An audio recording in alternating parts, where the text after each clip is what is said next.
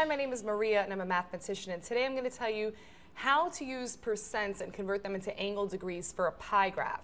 So if you are told that in your pie chart, 50% of it should be colored orange, let's say, and another 25% is going to be green, and the other 25% is going to be blue and you want to go ahead and accurately and precisely draw a pie graph, well, you need to first figure out how many degrees are going to be orange. So you know that 50% of the pie chart is orange. So you would just cut it in half. But if we wanted to be really precise about it and get a degree measurement, what you need to know is 50% of the entire circle's degrees. So the important thing to know is that an entire circle is 360 degrees. So what we want to do is 50% of 360 okay?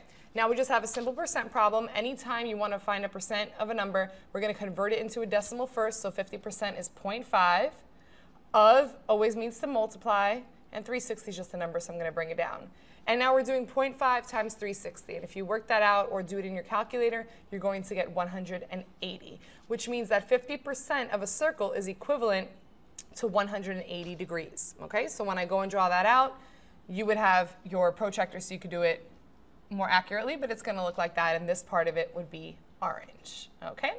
And then the same thing for the 25% that's green. You want to know what is 25% of 360. Put that in your calculator. You're going to end up getting 90, and you'll draw a nice right angle for 90 degrees, and you'll get the same thing for the other one.